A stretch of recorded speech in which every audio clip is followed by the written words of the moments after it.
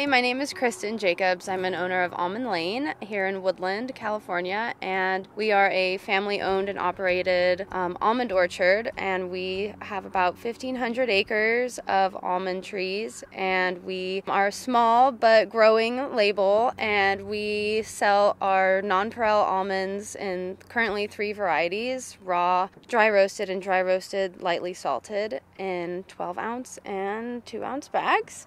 What makes Almond Lane so special is that we are the only almond producers in the world to be certified sustainably grown through SCS Global Services.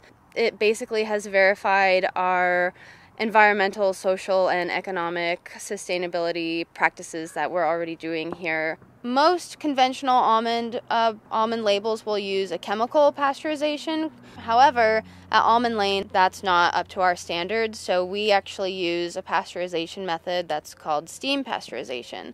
That you know, extra use of chemical is just unnecessary. The nonpareil almond, it's known as like the raw snacking almond when you taste almond lane almond, you can be assured that they are only the highest quality nonpareil um, snacking almond.